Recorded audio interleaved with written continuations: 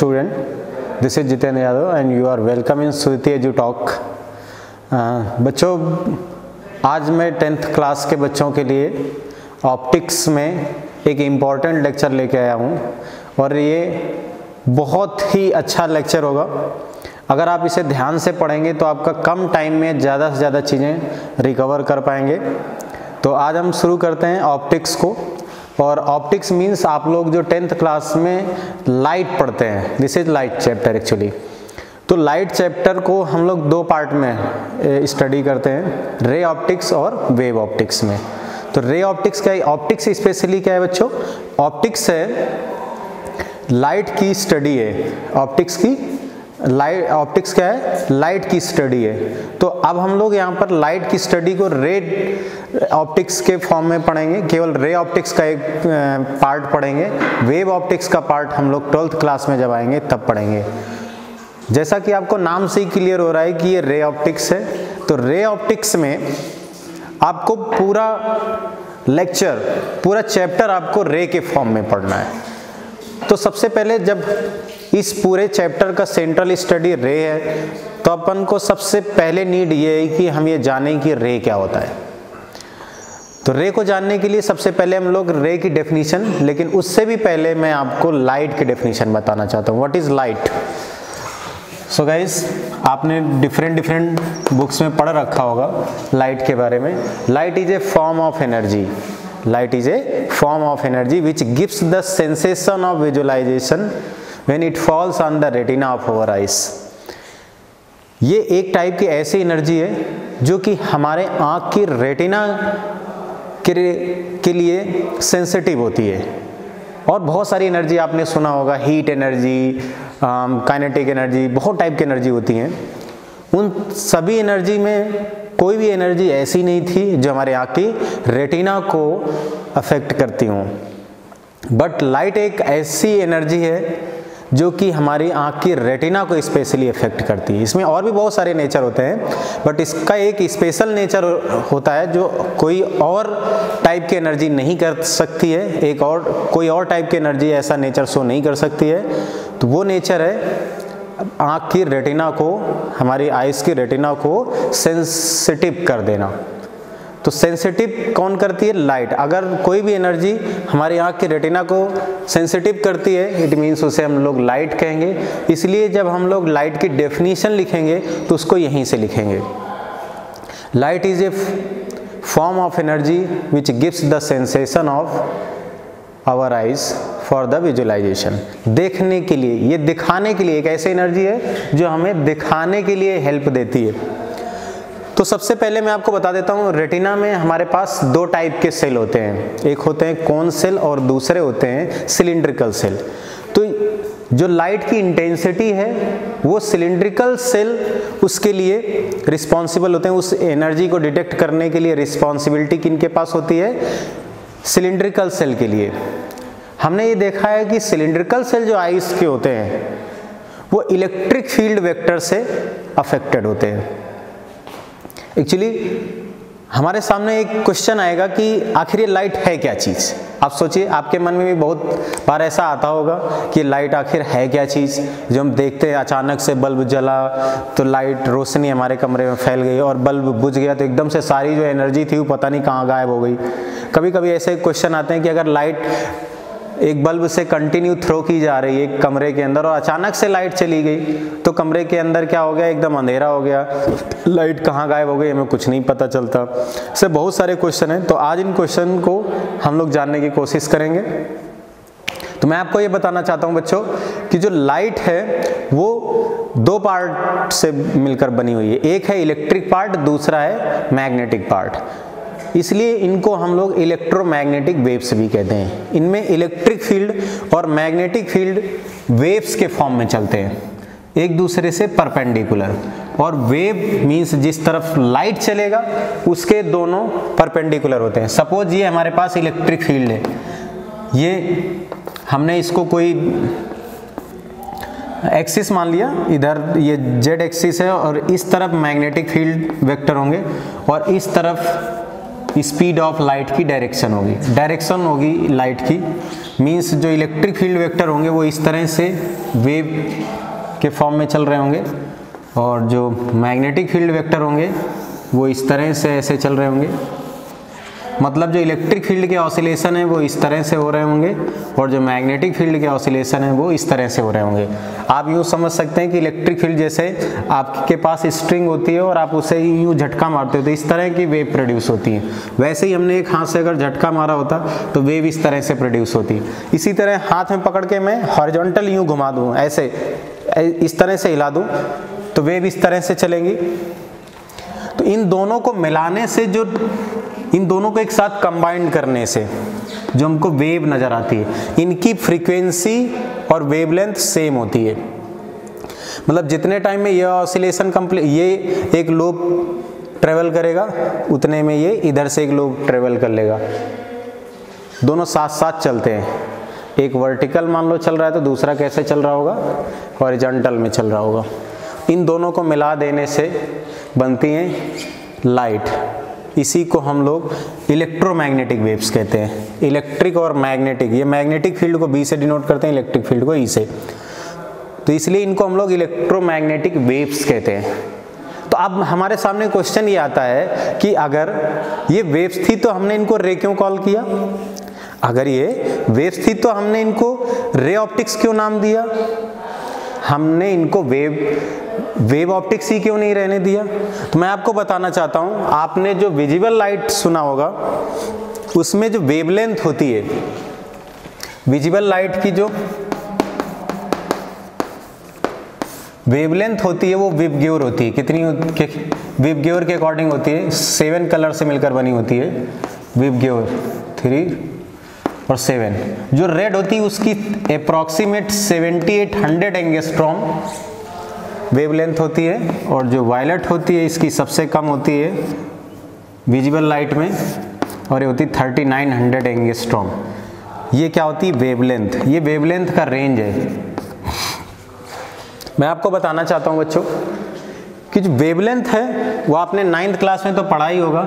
एक क्रिस्ट से दूसरे क्रिस्ट के बीच का डिस्टेंस या एक ट्रप से दूसरे ट्रप के बीच का डिस्टेंस इसका सबसे जनरल फार्मूला अगर आप याद रखना चाहो तो कोई भी वेव अगर आपको ट्रांसवर्स दे दी जाए तो उसमें कोई भी दो पॉइंट जो सेम फेस पर हों। जैसे फेस का मतलब होता है उनका मीन पोजीशन से पोजीशन, मीन मीन पोजीशन से उनका डिस्प्लेसमेंट, डायरेक्शन ऑफ़ वेलोसिटी ये सारी चीज़ें मतलब कंप्लीट इन्फॉर्मेशन जो क्वांटिटी देती है, उस इन्फॉर्मेशन का नाम है फेस फेस मीन्स एक टाइप की कंप्लीट इन्फॉर्मेशन तो सपोज़ अभी ये पार्टिकल ऊपर जा रहा है तो इसी के साथ वाला, ये वाला पार्टिकल इसी टाइम पे नीचे जाएगा, लेकिन ये वाला इसी के साथ ऊपर जाएगा। क्योंकि अगर आप वेव को यहाँ से देखो तो आपको इस तरह की नज़र आ रही है। फिर आप यहाँ से देखो तो भी वैसी ही नज़र आ रही है। कहा जाएगा कि इन दोनों की डायरेक्शन ऑफ़ मोशन डिस्प्लेसमेंट सब बराबर है। हालाँकि इसका डिस्प्लेसमेंट इसके इक्वल है, लेकिन इसका डायरेक्शन उल्टा है। मोशन ऑफ़ डायरेक्शन जो है ना, इसकी इससे अपोजिट है। इसलिए ये और ये सेम फेस में नहीं कहे जा सकते। इस, इसी तरह से ये वाला और ये वाला सेम फेस में नहीं होंगे। क्लियर ये और ये सेम फेस पे होंगे। तो इन दोनों सेम फेस में ऑसिलेटिंग पार्टिकल के बीच में जो डिस्टेंस होती है, वो वेवलेंथ होती है। तो आप जरा देखो, जो आप लोग यहाँ क्रिस्ट से क्रिस्ट के बीच का डिस्टेंस वेवलेंथ लेते थे, इसमें भी क्या है? इसका वेव वेलोसिटी भी ज़ीरो है, लेकिन मैक्सिमम डिस्प्लेसमेंट एम्पलीट्यूड के बराबर है। यहाँ भी मैक्सिमम डिस्प्लेसमेंट है, क्योंकि हाईएस्ट पॉइंट है। तो ये मैक्सिमम डिस्प्लेसमेंट एम्पलीट्यूड के बराबर है, और ये अभी इस समय मोमेंटाली रेस्ट पर होंगे। तो इन इन दोनों की पोजीशन एक जैसी है। इसी तरह से इन दो पॉइंट की भी पोजीशन एक जैसी है। दोनों सेम फेस पर हैं। इसलिए इनके बीच का भी वेवलेंथ जो है वो लैमडा है। आप देख सकते हैं कि जो हमारे पास विजिबल लाइट है, उसकी वेवलेंथ 3900 एंगेस्ट्रॉम से 7800 एंगेस्ट्रॉम के आसपास होती है। इसकी शार्प बाउंड्री क्लियर नहीं है। हर टाइप की बुक्स में अलग अलग आपको देखने को मिलेगा। कहीं 4000 से 8000 के बीच में ऐसा लिखा हुआ मिलेगा, क्योंकि शार्प बाउंड्री डिफाइन भी नहीं की जा सकती।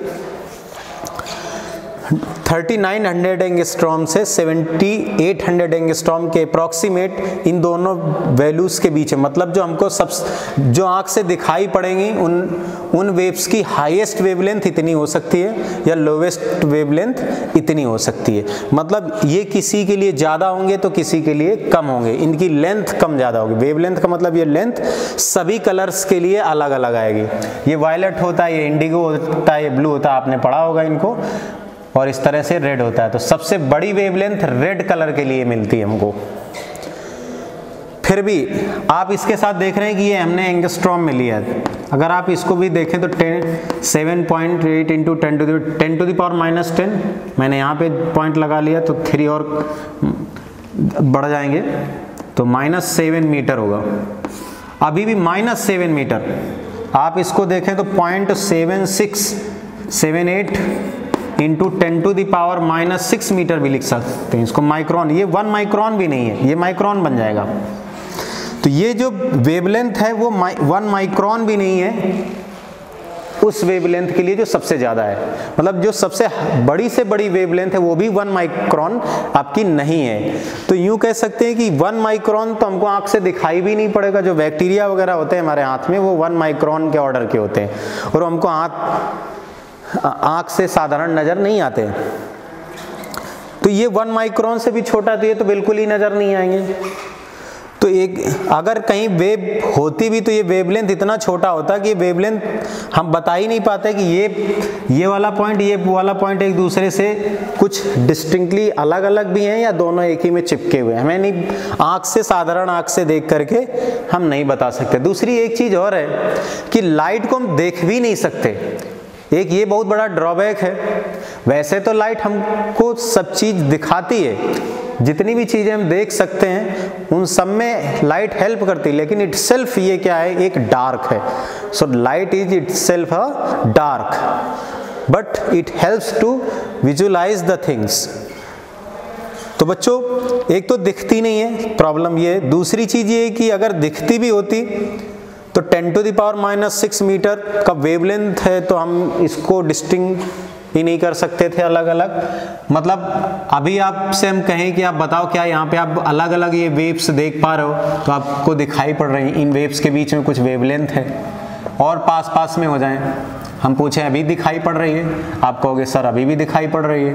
मैं और पास पास में कर दूँ, और फिर पूछूँ तो आप कहोगे, अब सर, थोड़ा क्लियर नहीं आ रहा है।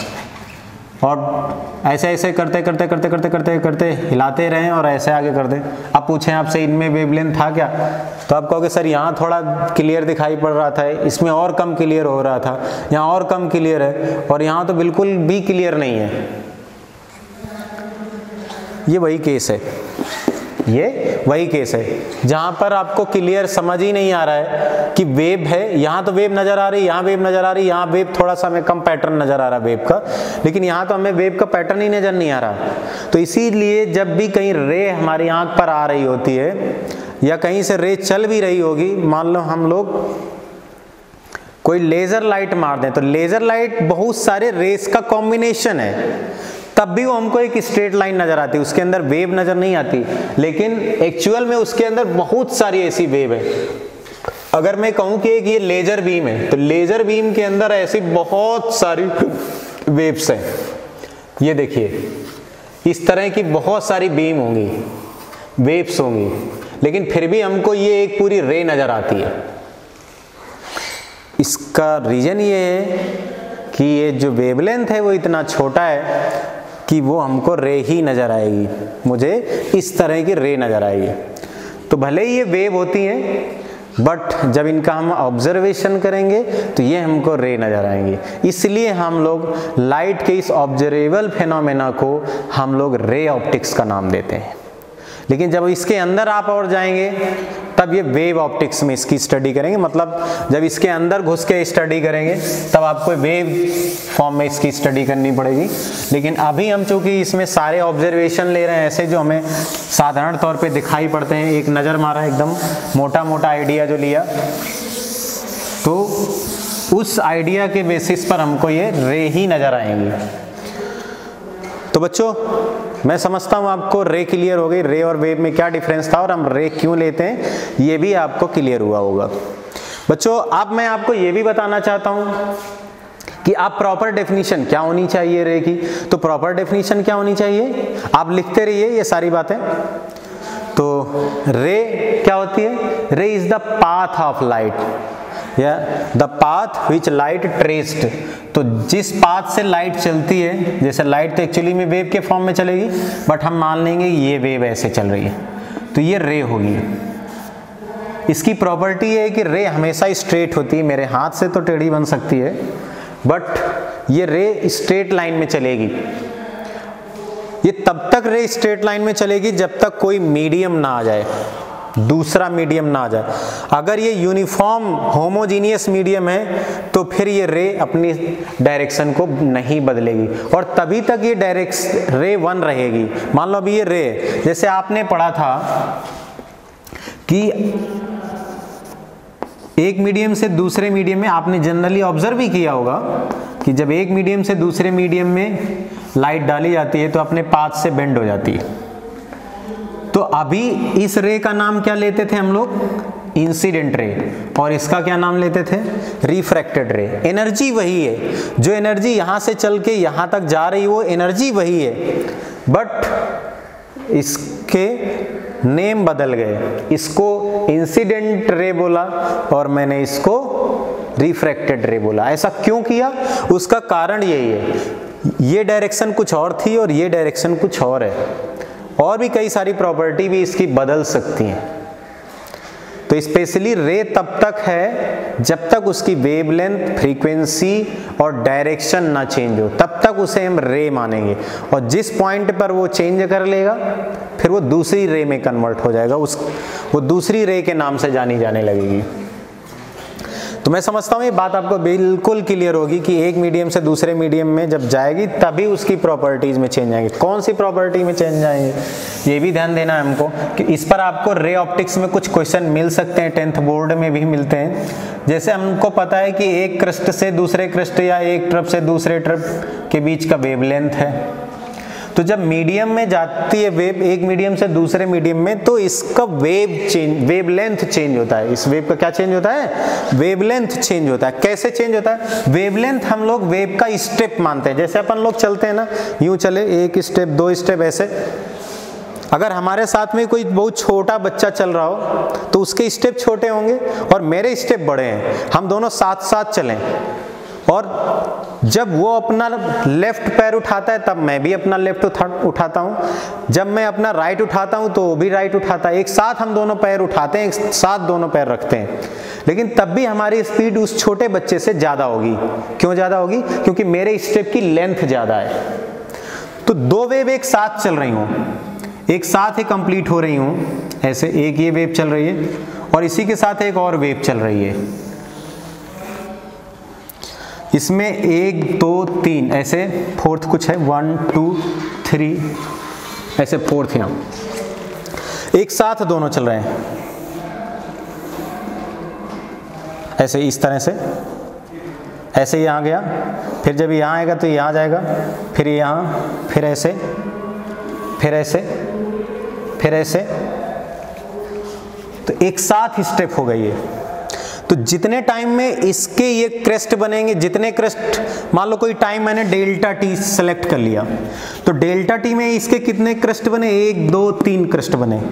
उतने ही टाइम डेल्टा टी में, जितना ये टाइम था, उतने ही टाइम में यहाँ भी कितने क्रिस्ट बने? एक, दो, तीन, चार यहाँ थे, एक, दो, तीन और चार यहाँ बने। तो इस लाइट ने ज़्यादा कवर कर लिया लेंथ और इस लाइट ने कम लेंथ कवर किया। क्योंकि एक का स्टेप ज़्यादा लंबा है। स्टेप मीन्स इसका वेवलेंथ ज़्यादा लॉन्ग है। और इसका वेवलेंथ इसका लैमडा वन सपोज़ करते हैं, इसका लैमडा टू तो लैमडा वन स्मॉल था लैम्डा टू ग्रेटर था। तो इस तरह से हम देख सकते हैं जिसका वेवलेंथ ज़्यादा होगा स्टेप बड़ा होगा, उसकी स्पीड भी ज़्यादा आएगी। इसीलिए हम लोग ये देखते हैं कि जो लाइट की स्पीड है, वो किस पे डिपेंड करती है? सपोज़ हम लोग यहाँ सी से इससे डिनोट कर लें तो ये लैम्डा पे डिपेंड करती है। प्रोपोर्शनलिटी हटाएँगे, एक कांस्टेंट आ जाएगा, और इस कांस्टेंट को हम लोग एफ़ से डिनोट करेंगे। यहाँ पर एफ़ जो है, वो फ्रीक्वेंसी होती है। तो स्पेशली सी केवल वेवलेंथ पर डिपेंड करती है। स्पीड जो होती है लाइट की वो वेवलेंथ पर डिपेंड करेगी, इस फ्रीक्वेंसी पर डिपेंड नहीं करेगी। अब कहोगे, सर फ्रीक्वेंसी पर डिपेंड क्यों नहीं करती?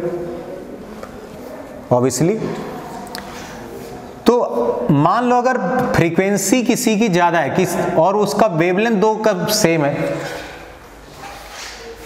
दोनों वेव का वेवलेंथ सेम है फ्रीक्वेंसी एक की कम, एक की ज़्यादा, उस केस में तो हो सकता है, लेकिन जब लाइट एक मीडियम से दूसरे मीडियम में जाएगी तो लाइट वही है, जिस सोर्स से आ रही थी, यहाँ पे कोई सोर्स सपोज़ यहाँ पे बल्ब जल रहा था तो इस बल्ब से लाइट आ रही थी। इससे तो एनर्जी का सोर्स इस एनर्जी और इस एनर्जी दोनों का सोर्स सेम था।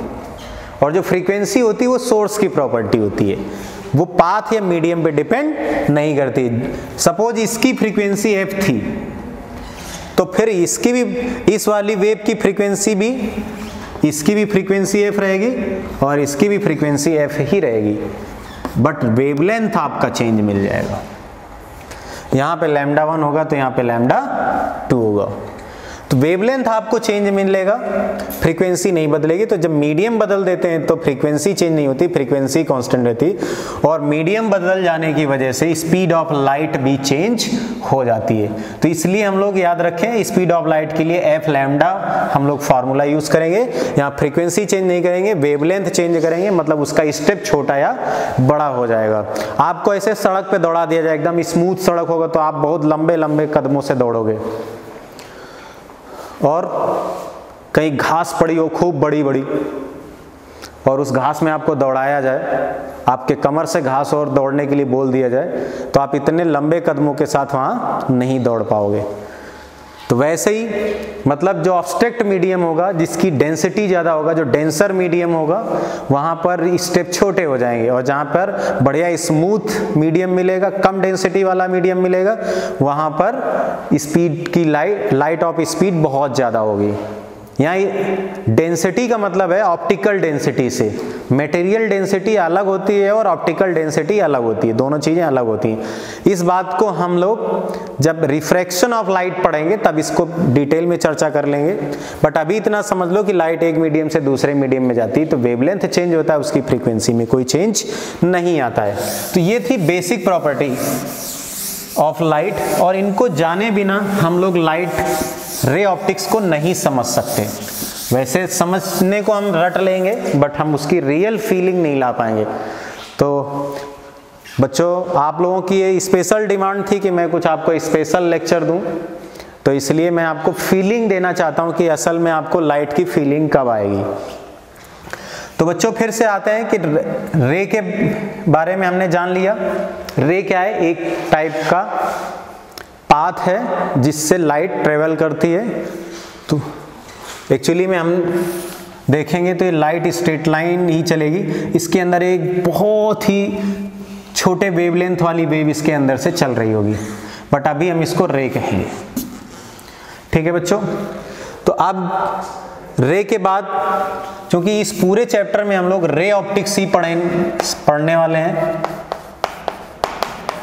तो सब कुछ रे से डिफाइंड होगा। ये बड़ी बात है।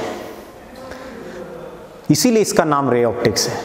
अगर आपको रे की डेफिनेशन रे से रिलेटेड डेफिनेशंस आपको आ गई तो आपको बिल्कुल भी रटना ही नहीं पड़ेगा। आप सोचो क्यों नहीं रटना पड़ेगा? क्योंकि रे ऑप्टिक्स है। सब कुछ रे से डिफाइंड होगा। आप दो, तीन डेफिनेशन याद कर लीजिए और आपको कुछ भी नया याद नहीं करना पड़ेगा। कैसे? सीखते हैं? मैं आपको बताऊँगा कैसे। तो सबसे पहले रे में हम लोग बीम पढ़ते हैं। बीम या बंडल ऑफ़ लाइट तो आपको ऑब्वियसली पता ही है, जैसा कि नाम से बिल्कुल क्लियर है कि बहुत सारी रे का बंच बंच ऑफ़ रेस तो ये क्या होता है? बंडल ऑफ़ रेस या बीम ये हमारे पास,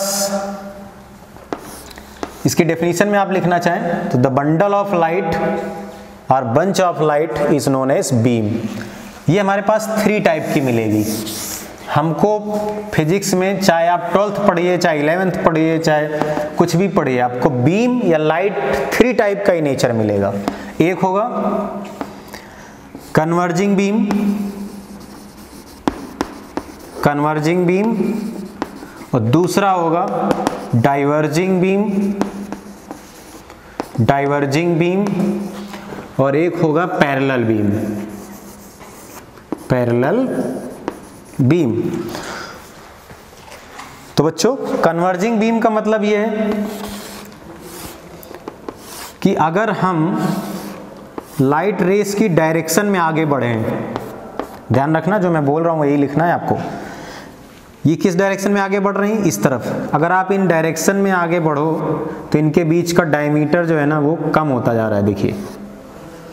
और फाइनली ये एक पॉइंट पर आपको फील होंगी कि ये कंसर्न हो गई। तो इस पॉइंट का नाम होगा पॉइंट ऑफ़ कन्वर्जेंस और इन बीम इस बीम का नाम होगा कन्वर्जिंग बीम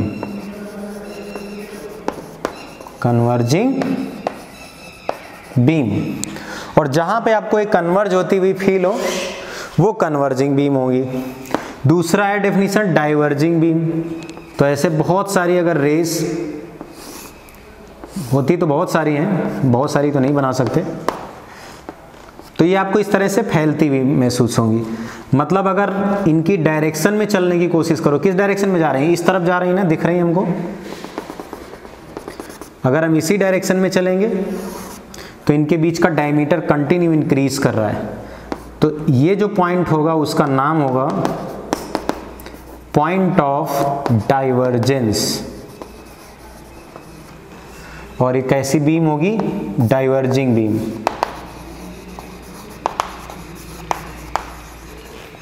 ठीक है बच्चों? तो यहाँ पर हमको ये डाइवर्ज होते हुए फील हो रही हैं। यहाँ पे एरो बनाना बहुत ज़रूरी है, क्योंकि हमें तभी पता चलेगा कि डायरेक्शन कौन सी है। और ये एरो हम बीच में बनाते हैं।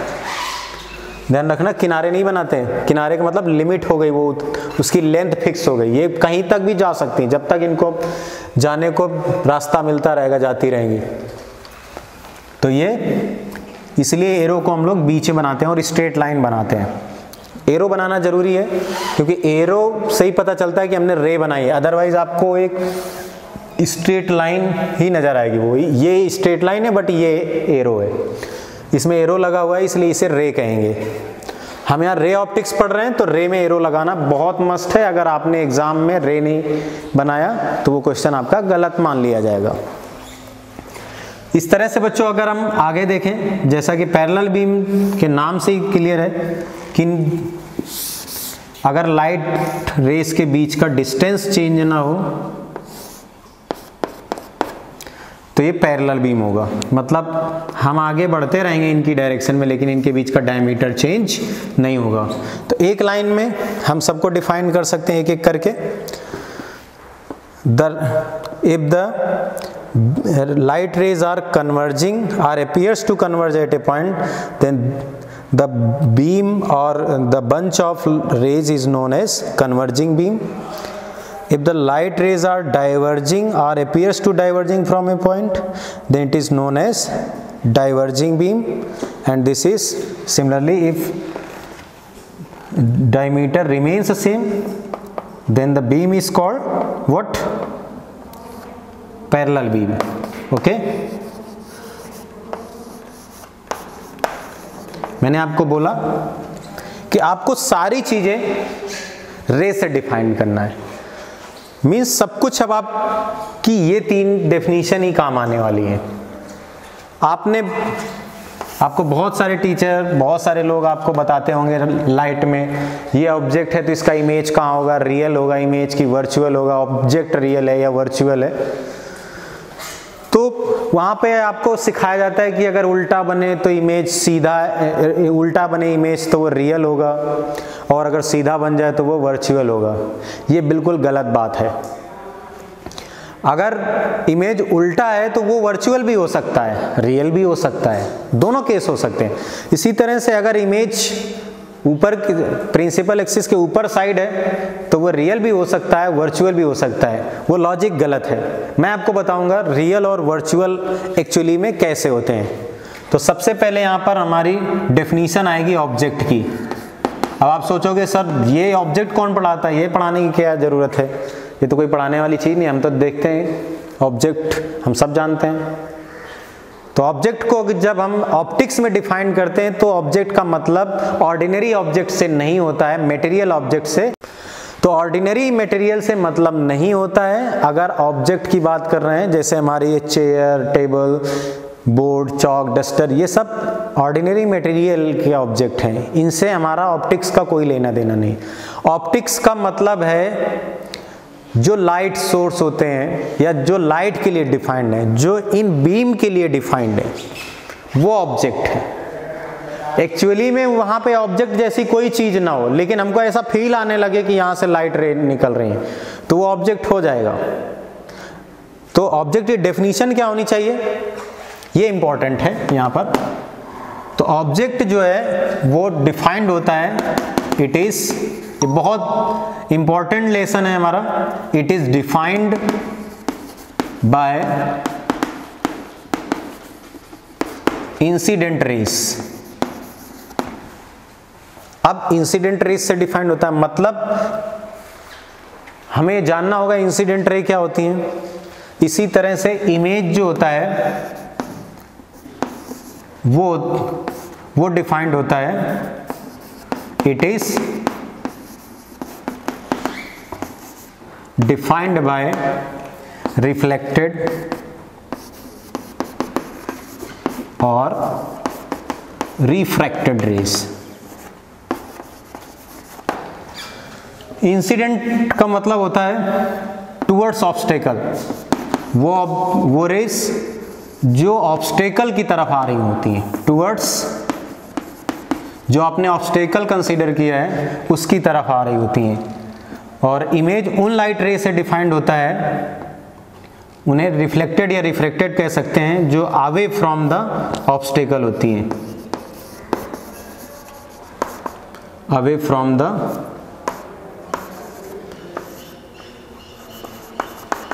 ऑब्स्टेकल ये चीज़ ध्यान रखना है हमको। तो इस तरह से हम लोग इमेज और ऑब्जेक्ट के दो दो फॉर्म पढ़ेंगे, एक रियल और दूसरा वर्चुअल तो यहाँ पर सबसे इंपॉर्टेंट बात यह है कि क्या रियल होगी, क्या वर्चुअल होगा।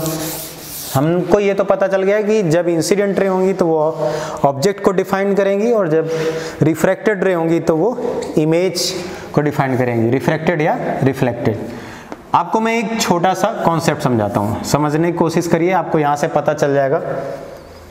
सपोज़ ये कोई मीडियम है।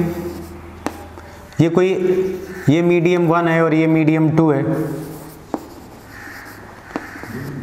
रे इस मीडियम से आ रही है। तो जब इस मीडियम को कंप्लीट कर लेगी, इस मीडियम में इंटर करने वाली होगी तो पहले इसके इंटरफेस से टकराएगी इन दोनों मीडियम के तो इस इंटरफेस को हम पॉइंट ऑफ़ इंसिडेंस मान लेते हैं। क्या मान लेते हैं? Point of incidence interface point को, जहाँ पर वो लाइट रे आके फॉल होती है। तो इंटरफेस का वो पॉइंट जहाँ पे लाइट फॉल होती है, उसको हम लोग पॉइंट ऑफ़ इंसिडेंस कहेंगे। तो पॉइंट ऑफ़ इंसिडेंट की तरफ़ ये जो लाइट आती है, उसको इंसिडेंट रे बोलते हैं। क्या बोलते हैं इसको बच्चों? इंसिडेंट रे और जो मीडियम में अंदर इसके, इसको फाड़ के घुस जाती है तो इसको फ्रैक्टेड रेस या इसको हम लोग रिफ्रैक्टेड रेस री मतलब फाड़ के घुसी और फिर से चलने लगी। जैसे यहाँ चल रही थी रीस्टार्ट कर दिया, फिर से यहाँ। जैसे घुसी तो एक बार अपनी डायरेक्शन को चेंज करेगी और घुसती चली जाएगी। इसलिए इसका नाम है रिफ्रैक्टेड रेस और अगर ये इसी मीडियम में वापस चली जाती, ये मीडियम वन में ही वापस चली जाती तो ये होती है रिफ्लेक्टेड रे क्या होती है? ये सब आपको याद रखनी पड़ेगी। रिफ्लेक्टेड रे तो ये रिफ्रैक्टेड रे ये रिफ्लेक्टेड रे ये इंसिडेंट रे और जिस पॉइंट पे आके फॉल होती हैं, उसको हम लोग बोलते हैं पॉइंट ऑफ़ इंसिडेंस ये कौन सा पॉइंट हुआ? पॉइंट ऑफ़ इंसिडेंस अगर आपने इस पर नॉर्मल डाल दिया है पॉइंट ऑफ़ इंसिडेंस में अक्सर हम लोग नॉर्मल डाल के स्टडी करेंगे तो इसलिए normal on the point of incidence बोलेंगे। Normal on the point of incidence तो इतनी इंफॉर्मेशन है। अब आप देखिए, इस पॉइंट ऑफ़ इंसिडेंस या ऑब्स्टेकल की तरफ़ कौन आ रही है? ये वाली रही। इसलिए इनका नाम इंसिडेंट है। इससे दूर कौन कौन सी जा रही है? ये भी दूर जा रही है ये भी दूर जा रही। है इस पॉइंट से। ये इधर जा रही है ये इधर जा रही। है दूर जा रही है इससे। अवे ये इधर अवे ये इधर अवे इसलिए अवे जाने वाली रे जो होती हैं, वो किसको बनाएँगी? इमेज को बनाएँगे। मतलब अगर इमेज बन सकता है तो इन तीनों में से किससे बन सकता है? इससे भी बन सकता है और इससे भी बन सकता है। इससे भी इमेज बन सकता है, इससे भी बन सकता है। लेकिन इससे क्या बनेगा? ऑब्जेक्ट इस ऑब्स्टेकल के लिए। तो ये ध्यान रखना है कि इमेज किन से बनेगा ऑब्जेक्ट किन से बनेगा। ये बातें आप लोग नोट कर लीजिए और बहुत इंपॉर्टेंट हैं। तो अब मुझे उम्मीद है कि आपको रिफ्लेक्टेड रिफ्रैक्टेड या फिर इंसिडेंट से कोई भी कंफ्यूजन नहीं होगा। आप इसे नोट कर लें। अब बच्चों, मैं आपको बताता हूँ रियल ऑब्जेक्ट जो ऑब्जेक्ट है हमारे पास, वो दो टाइप का ऑब्जेक्ट हमको पढ़ने को मिलेगा। इस ऑप्टिक्स में एक नंबर का क्वेश्चन इसमें भी पूछा जाता है। जब आप बोर्ड का एग्ज़ाम देने जाओगे तो उसमें वन मार्क्स का क्वेश्चन केवल उसके रियल या वर्चुअल होने पर पूछा जाएगा। तो एक रियल ऑब्जेक्ट होता है हमारे पास और दूसरा क्या होता है? वर्चुअल ऑब्जेक्ट तो रियल ऑब्जेक्ट हमको पता है अगर हमें ऑब्जेक्ट डिफाइन करना है तो पक्का ये इंसिडेंट रे बताएँगे हमको। इंसिडेंट रे से ही डिफाइंड होगा। तो इंसिडेंट रे में से कौन सी रे ऐसी होंगी जो रियल ऑब्जेक्ट को डिफाइन करेंगे और कौन सी ऐसी रे होंगी जो वर्चुअल ऑब्जेक्ट को डिफाइन करेंगी? तो एक बार में आप समझ लीजिए, बहुत इंपॉर्टेंट बात है ये। यही रियल और वर्चुअल होने की पैरामीटर है। इसके अलावा कोई और तरीका अगर आपको बताता है ये रियल ये वर्चुअल तो वो बस आपको रटाएगा। वो कॉन्सेप्ट बदलते जाएँगे। बट ये कॉन्सेप्ट लाइफ टाइम कभी नहीं चेंज होने वाले। तो रियल ऑब्जेक्ट क्या होगा?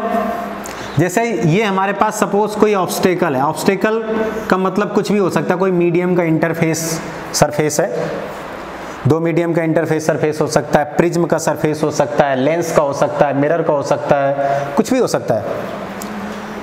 तो हमको पता है कि इंसिडेंट इसकी तरफ़ जा रही हैं। तो अगर इंसिडेंट रे कुछ ऐसा जाए, ऐसा ऐसा करते हुए। आप देख रहे हो ये, मैंने एरो इस तरफ़ बनाए हैं तो ऑब्स्टेकल की तरफ़ जा रही हैं। कैसा जा रही है? तो ये कौन सी रे हुई? इंसिडेंट लेकिन इंसिडेंट रे में भी कौन सी इंसिडेंट रे जो डाइवर्जिंग है, कौन सी है? डाइवर्जिंग अगर डाइवर्जिंग इंसिडेंट रे किसी पॉइंट से जाती हैं तो पॉइंट ऑफ़ जो डाइवर्जेंस है point of divergence this is known as real object तो जिस पॉइंट से ये लाइट रेस डाइवर्ज होते हुए फील हो वो रियल ऑब्जेक्ट होगा। लेकिन ध्यान रहे, ये रे इंसिडेंट होनी चाहिए। इसी तरह मान लो ये ऑब्स्टेकल होता। और इस बार रे तो इंसिडेंट है। मतलब रे इसकी तरफ़ आ रही हैं।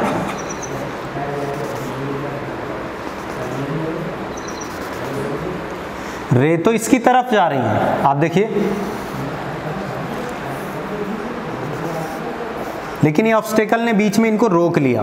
ना रोकता तो क्या होता? ये रे कहाँ जाती? यहाँ पे जाके मिल जाती।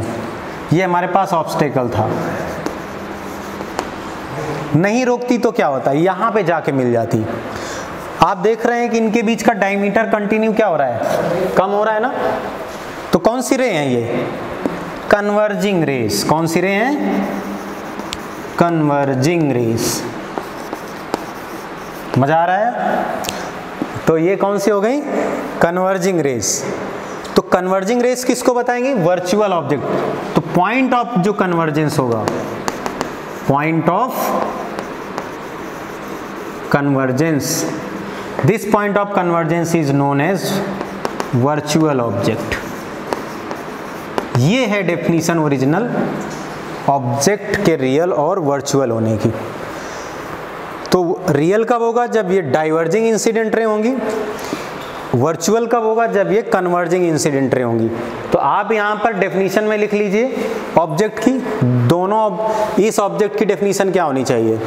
ये डेफिनेशन वर्चुअल के लिए रहेगी और ये डेफिनेशन रियल के लिए रहेगी।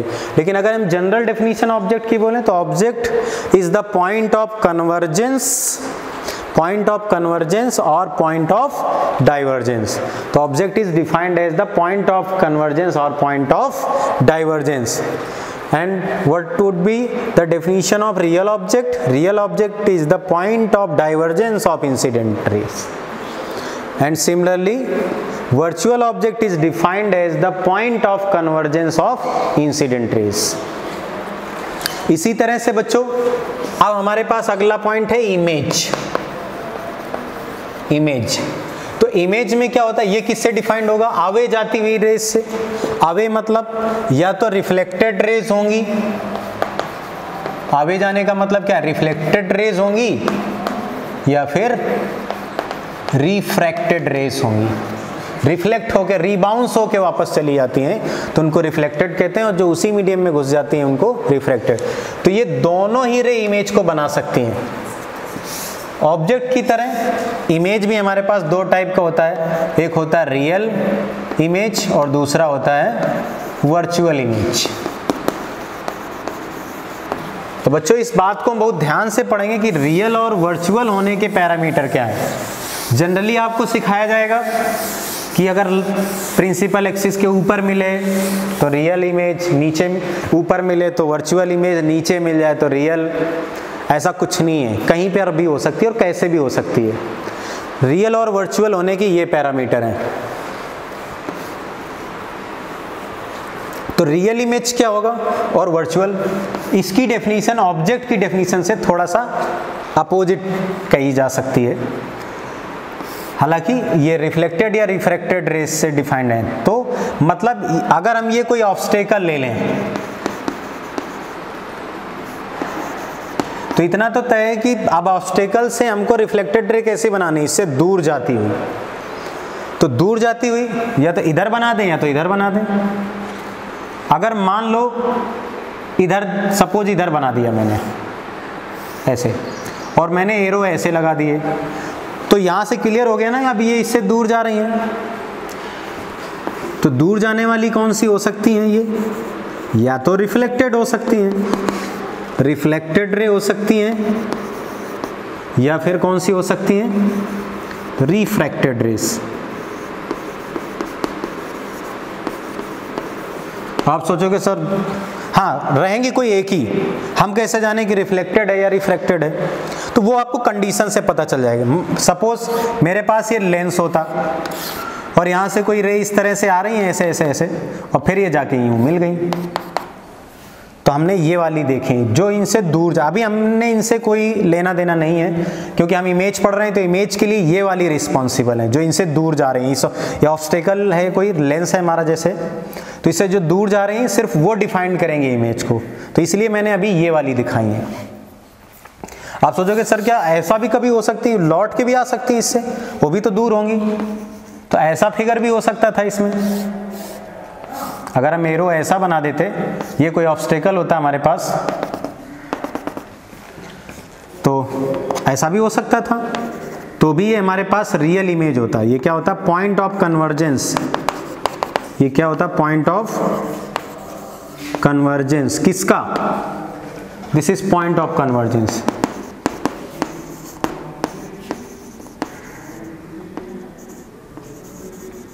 तो ये हमारे पास रियल इमेज हुआ।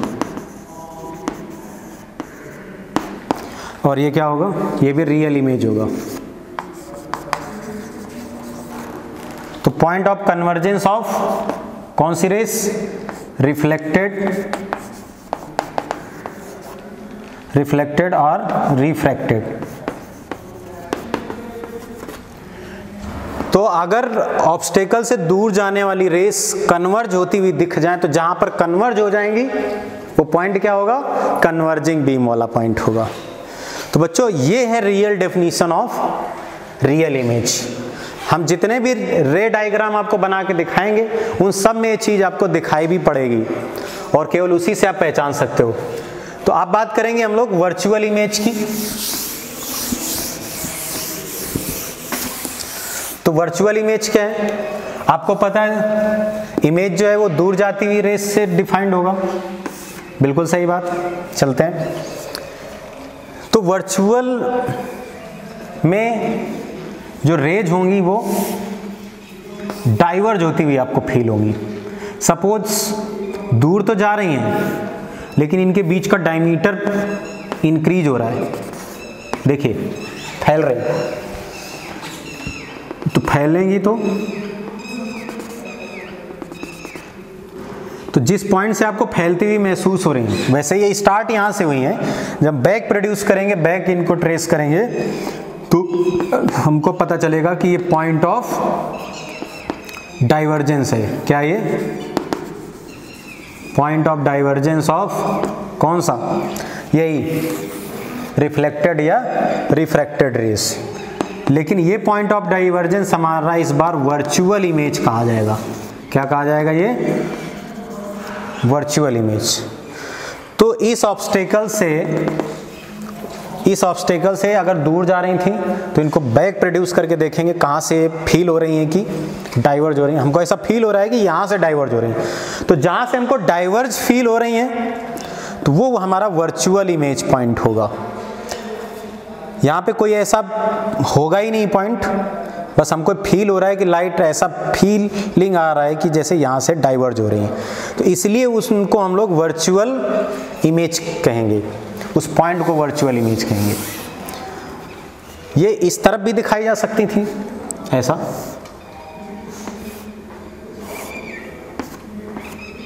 ये भी तो इससे दूर जा रही है इस ऑब्स्टिकल से। तो आपको इस तरफ़ फिर ये बैक प्रोड्यूस करनी पड़ेगी। तो ये हमारे पास वर्चुअल इमेज होगा।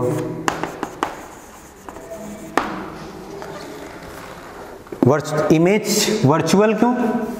क्योंकि ये डाइवर्जिंग बीम है। डाइवर्जिंग कौन सी? रिफ्लेक्टेड या रिफ्रैक्टेड रे रिफ्लेक्टेड या फिर रिफ्रैक्टेड रेस तो ये बातें हमको याद रखनी कि रिफ्लेक्टेड या रिफ्रैक्टेड ही इमेज बना सकती हैं। अगर रिफ्लेक्टेड या रिफ्रैक्टेड कन्वर्जिंग है तो रियल इमेज डाइवर्जिंग है तो वर्चुअल इमेज इसी तरह से ऑब्जेक्ट में अगर डाइवर्जिंग डाइवर्जिंग होंगी तो क्या होगा? डाइवर्जिंग बीम होगी या डाइवर्जिंग इंसिडेंट रे होगी तो वर्चुअल ऑब्जेक्ट और कन्वर्ट सॉरी अगर डाइवर्जिंग इंसिडेंट रेज होंगी तो रियल ऑब्जेक्ट और डाइवर कन्वर्जिंग इंसिडेंट रे होंगी तो वर्चुअल इमेज तो ये डेफिनेशन है हमारे पास। अब मैं आपको एक छोटा सा एग्जांपल लेने वाला हूँ। अब आप उस छोटे से एग्जांपल से ऑब्जेक्ट के रियल या वर्चुअल होने को समझ सकते हैं। तो ये एक नंबर अगर आप इतनी सारी बातें याद रखते हैं तो एक नंबर क्वेश्चन एक नंबर तो आपका बिल्कुल बोर्ड में पक्का ही हो गया, क्योंकि एक ऑप्टिक्स का क्वेश्चन ज़रूर देते हैं और उसमें ये ज़रूर पूछते हैं कि बताओ इसमें से ये इमेज रियल होगी कि वर्चुअल तो इमेज या ऑब्जेक्ट कोई भी रियल वर्चुअल पूछे, आपको बिल्कुल डरना नहीं। मान लो ये हमारे पास एक लेंस है।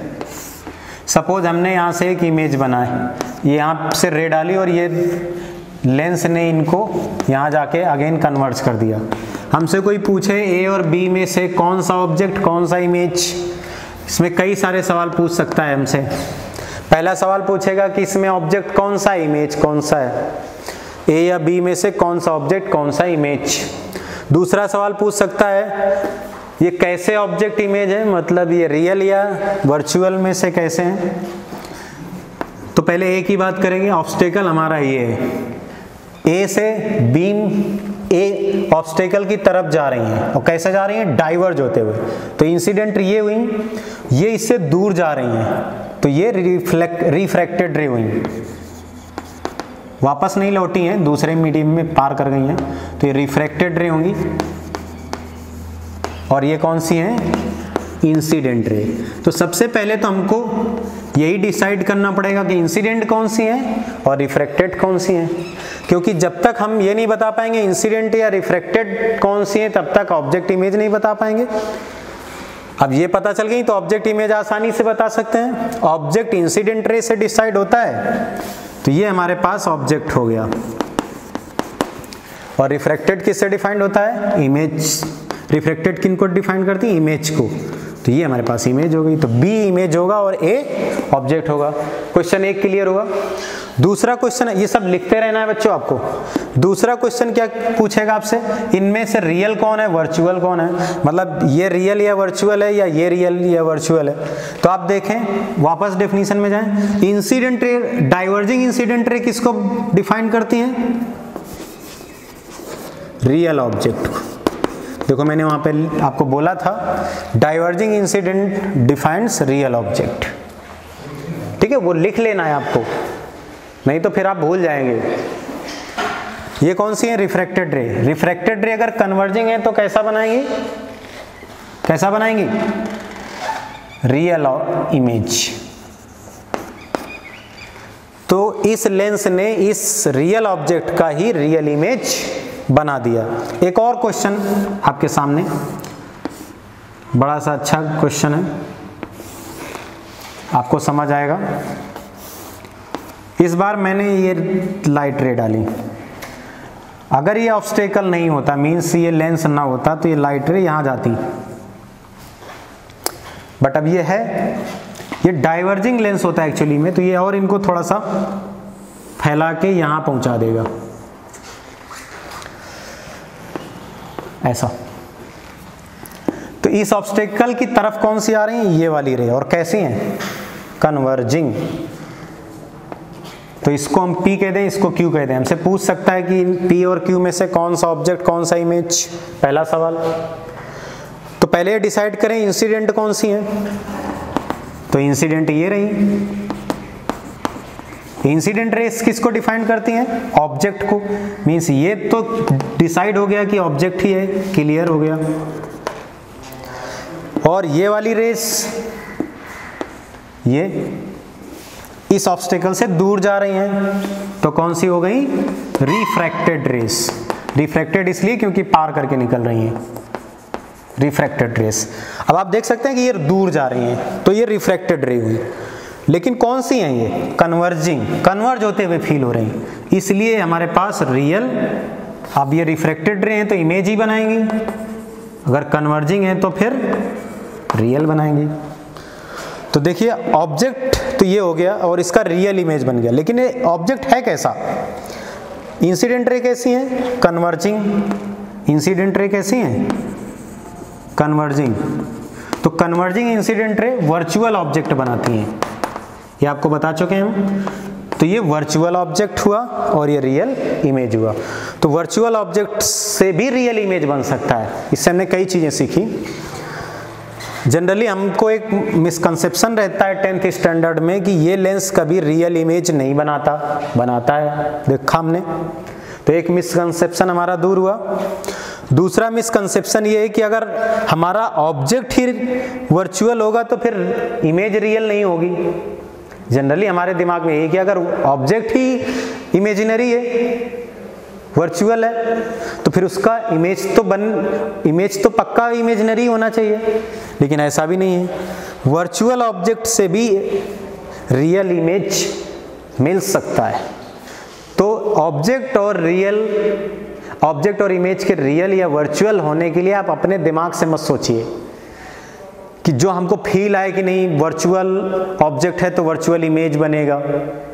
ऐसा कुछ नहीं होता है। रियल या वर्चुअल होने के जो पैरामीटर मैंने बताए हैं, आपको वही याद रखना है। मतलब इंसिडेंट रे या रिफ्रैक्टेड रे कैसी इंसिडेंट रे या कैसी रिफ्रैक्टेड रे ये चीज़ आपको बताएँगी, ये चीज़ें आपको डिसाइड करेंगी कि ऑब्जेक्ट कैसा है या इमेज कैसा है। राइट तो ये बातें हमको याद रखनी है और इनको याद करेंगे हम लोग। और इसके बाद हम लेक्चर के अपने कंटेंट में वापस आते हैं रिफ्लेक्शन या रिफ्रैक्शन में। तो सबसे पहले टेंथ स्टैंडर्ड में रिफ्लेक्शन ऑफ़ लाइट के बारे में पढ़ते हैं हम लोग। तो बच्चों, अब हम लोग अपना चैप्टर स्टार्ट करते हैं रिफ्लेक्शन ऑफ़ लाइट तो रिफ्लेक्शन ऑफ़ लाइट को सबसे पहले डिफाइंड करना चाहिए, क्योंकि कोई भी चीज़ पढ़ने से पहले हमें उसकी डेफिनेशन आना चाहिए। अगर हम उस चीज़ को डिफाइंड ही नहीं कर पाएँगे तो फिर उसके बारे में जानने से कोई फ़ायदा नहीं, या उसके बारे में अच्छे से नहीं जान पाएँगे। एक्चुअली जो डेफिनेशन होती हैं, बहुत सारे एक्सपेरिमेंट बहुत सारे ऑब्जर्वेशन के बाद वो डिफाइंड किया जाता है। एक शार्प क्राइटेरिया होता है स्टेटमेंट का। तो अगर उस शार्प क्राइटेरिया ऑफ़ स्टेटमेंट को आप पढ़ेंगे और उसके अंडर में आप स्टडी करेंगे, तभी वो चीज़ें वैलिड रहेंगी। आप अगर अपनी तरफ़ से कोई डेफिनेशन बना दोगे तो आपके पास ना उतने एक्सपेरिमेंट थे, ना उतने ऑब्जर्वेशन थे। तो इसलिए आप लोग जो अपने मन से लिखोगे, वो गलत ही लिखोगे। तो इसलिए जो हमारे पास डेफिनीशन होनी चाहिए, वो शार्प डेफिनीशन होनी चाहिए। और डेफिनीशन अगर आपकी शार्प है एक्यूरेट है तो फिर आपको पूरे नंबर मिलने चाहिए। आप उसके पूरे हकदार हैं। तो रिफ्लेक्शन ऑफ़ लाइट का मतलब समझें। सपोज़ ये कोई हमारे पास एक इंटरफेस है किसी मीडियम का राइट अब यहाँ पर कोई लाइट की एक रे आके यहाँ से इंसिडेंट होती है, इस पॉइंट पे इंसिडेंट होती है और इंसिडेंट होने के बाद ये इस तरह से लौट जाएगी। तो इस, अगर कोई भी बीम इस तरह से आई, इसमें बहुत सारी रेज हो सकती हैं। अभी ये ये बीम है और ऐसे ही ये वापस भी लौट गई, ऐसा। तो इसको हम कहेंगे रिफ्लेक्शन ऑफ़ लाइट क्या कहेंगे? वापस उसी मीडियम में उसी स्पीड से लौट जाए। तो उससे रिफ्लेक्शन ऑफ़ ध्यान रखना, मैं क्या कह रहा हूँ? उसी मीडियम में सेम मीडियम में सेम स्पीड से वापस लौट जाए। तो अगर यहाँ पे फ्रीक्वेंसी एफ़ है तो यहाँ भी फ्रीक्वेंसी एफ़ रहेगी। यहाँ पर वेवलेंथ लैम्डा है तो यहाँ पर भी वेवलेंथ लैम्डा रहेगा। ना फ्रीक्वेंसी चेंज हुई, ना तो वेवलेंथ चेंज हुआ। तो जब फ्रीक्वेंसी और वेवलेंथ ना चेंज हो, ना मीडियम चेंज हो तब उसे रिफ्लेक्शन ऑफ़ लाइट कहेंगे। हम लोग जो भी डेफिनेशन पढ़ेंगे, वो फिजिक्स के पैरामीटर के पॉइंट ऑफ़ व्यू से सीखना चाहिए हमको। या हम सीखेंगे उनसे। तो ना फ्रीक्वेंसी चेंज हो, ना वेवलेंथ चेंज हो, ना मीडियम चेंज हो। तो जिस मीडियम जिस फ्रीक्वें जिस मीडियम में जिस फ्रीक्वेंसी और जिस वेवलेंथ से इंसिडेंट हुई, उसी फ्रीक्वेंसी या उसी वेवलेंथ से, उसी मीडियम में वापस रिबाउंस हो जाए then this phenomenon of light is known as reflection of light so definition क्या होगी? When a beam of light rebounds back in the same medium with the same frequency and same wavelength, then it is known as reflection of light. ये हमारे पास दो type का होता है। Reflection भी दो टाइप से होगा। एक होगा रेगुलर रिफ्लेक्शन एक होगा इरेगुलर रिफ्लेक्शन हमको रेगुलर रिफ्लेक्शन ही पढ़ना है। अब जान लेते हैं क्या होता है। रेगुलर रिफ्लेक्शन का मतलब ये एकदम स्मूथ सरफेस होगा जिगजैक नहीं होगा। तो कोई भी बीम आएगी यहाँ पे। अगर मान लो पैरेलल बीम हमने यहाँ पे डाल दिया है तो ये पैरेलल बीम ही वापस जाएगी। मतलब इसमें बहुत सारी रे आएँगी और जिस तरह से आई थी, ये उसी तरह से वापस चली भी जाएँगी। ऐसे। तो पैरेलल आई, पैरेलल ही चली गई। तो इसको हम कहेंगे रेगुलर रिफ्लेक्शन क्या कहेंगे? रेगुलर रिफ्लेक्शन आप लिख सकते हो इनकी definition when parallel incident ray parallel incident beam rebounds back in form of parallel beam, then this phenomenon is known as regular reflection similarly, अगर ये सरफेस सपोज़ कुछ जैक होता, और ये इस तरह का है। कोई पॉलिश या सिल्वर सरफेस पर जब हम लाइट डालते हैं तो रिबाउंस बैक होती है। अगर ये स्मूथ सरफेस है, बिल्कुल फ्लैट प्लेन सरफेस है तो पैरेलल डालने पर पैरेलल ही वापस जाएँगी। अगर जिगजैग है तो तो पैरेलल डालेंगे तो एक मान लो ये यहाँ रिफ्लेक्ट हो गई वापस चली गई, ये वाली ऐसे चली गई, और ये वाली तो ऐसे चली गई। तो ये स्कैटर्ड हो गई। पैरेलल आई बट आफ्टर रिफ्लेक्शन ये स्कैटर्ड हो गई। This is known as irregular reflection क्या कहेंगे इसको? इरेगुलर रिफ्लेक्शन अभी हम चैप्टर के अंदर घुसे नहीं हैं, लेकिन उससे रिलेटेड बेसिक बेसिक जानकारी हमको आना ज़रूरी है। इनके बिना हम उस चैप्टर के बारे में कुछ नहीं सीख पाएँगे। तो ये हो गया रिफ्लेक्शन अब लॉज ऑफ़ रिफ्लेक्शन की बात करेंगे। हम बात करेंगे अब लॉज ऑफ़ रिफ्लेक्शन के बारे में। लॉज ऑफ़ रिफ्लेक्शन ये हमारे पास दो बेसिक लॉ है। इतने ही सफिशियंट है। आप सोचोगे, सर, दस क्यों नहीं बनाए? ज़रूरत ही नहीं थी। तो आप समझिए जरा। सपोज़ ये हमारे पास कोई प्लेन सरफेस है और यहाँ पर एक लाइट रे, स्ट्रेट लाइट रहेगी रे रहेगी कोई। और सपोज़ ये एंगल हमारा इंसिडेंट है।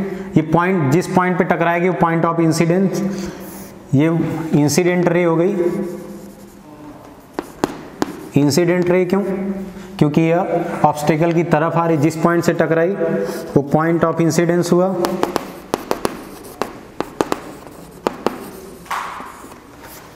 जिस पॉइंट पर आपने नॉर्मल ड्रॉ किया, ये normal on the point of incidence on the point of incidence और जो रे वापस चली जाएगी लॉ ये कहता है कि जो इंसिडेंट रे इस पे डाली जाएगी, वो वापस भी लौटेगी और उतना ही एंगल बनाते हुए लौटेगी।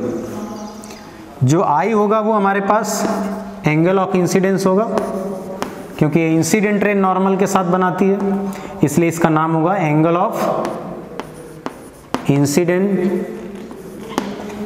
और जो आर होगा, वो होगा एंगल ऑफ़ रिफ्लेक्शन। ठीक बच्चों? तो इसका हम फ़र्स्ट लॉ लिखना शुरू करते हैं। पहले तो समझते हैं इसका स्टेटमेंट क्या होना चाहिए? तो इंसिडेंट रे और रिफ्लेक्टेड रे ये हमारे पास वापस चली गई है उसी मीडियम में सेम स्पीड सेम वेवलेंथ अगर हम कहें तो अगर इसकी वी वी स्पीड है तो यहाँ पर भी ये वी स्पीड से जाएगी। यहाँ पर एफ़ फ्रीक्वेंसी और लैम्डा वेवलेंथ है तो यहाँ पर भी एफ़ फ्रीक्वेंसी और लैम्डा वेवलेंथ रहेगा। सेम फ्रीक्वेंसी सेम वेवलेंथ उसी मीडियम में चली गई तो इसलिए इसका नाम होगा रिफ रिफ्लेक्टेड रे रिफ्लेक्टेड रे तो ये चीज़ें बहुत क्लियर होनी चाहिए हमारी, ये पॉइंट ऑफ़ इंसिडेंस है। तो फ़र्स्ट लॉ जो होता है, वो ये बताता है कि ये सारे एक ही प्लेन में ये इंसिडेंट रे ये रिफ्लेक्टेड रे और ये नॉर्मल इस पॉइंट पे जो नॉर्मल डाला गया है, ये ये नॉर्मल पॉइंट वो क्या होना चाहिए? ये सब एक ही प्लेन में होने चाहिए। ऐसा नहीं कि ये इस प्लेन से चिपकी और ये इस प्लेन से बाहर आ जाए, या इस प्लेन से ये बाहर आ जाए, ये बाहर आ जाए। ये ना, ये तीनों क्या होने चाहिए? कैसे होने चाहिए? तीनों एक ही प्लेन में होने चाहिए। तो फ़र्स्ट लॉ होना चाहिए incident ray reflected ray lie on the same plane तो इंसिडेंट रे आप अपने स्टेटमेंट में लिख लीजिए। Incident ray reflected ray.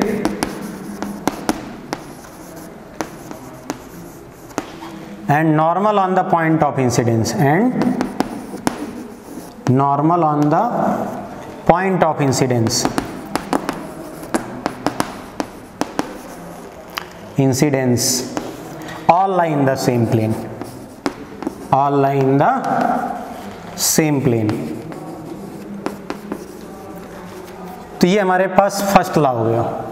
अब इसका देखते हैं दूसरा स्टेटमेंट तो दूसरा स्टेटमेंट क्या होगा? दूसरा स्टेटमेंट ये कहता है कि ये जो एंगल ऑफ़ इंसिडेंस है एंगल ऑफ़ इंसिडेंस है, वो एंगल ऑफ़ रिफ्लेक्शन के इक्वल आएगा। मतलब जितना एंगल ये होगा, उतना ही एंगल ये होगा। ये ऑलवेज वैलिड रहेगा, जब भी रिफ्लेक्शन होगा। ये चेंज नहीं होंगे। मतलब इन लॉस में जो दो पॉइंट हैं, इनका कभी भी वायलेशन नहीं होगा। ऑल टाइम ये ट्रू होंगे। तो ये लॉ ऑफ़ रिफ्लेक्शन है। इस चैप्टर में हम लॉज ऑफ़ रिफ्लेक्शन के बारे में पढ़ेंगे।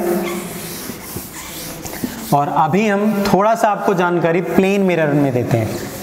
हालाँकि प्लेन मिरर के क्वेश्चन कम आपको मिलेंगे, लेकिन कर्ड मिरर पे ज़्यादा मिलेंगे। पर फिर भी हम लोगों को लॉज ऑफ़ रिफ्लेक्शन थोड़ा सा और सा अच्छे से क्लियर हो, और प्लेन मिरर का भी कॉन्सेप्ट क्लियर होना ही चाहिए। तो reflection through plane surface reflection through plane surface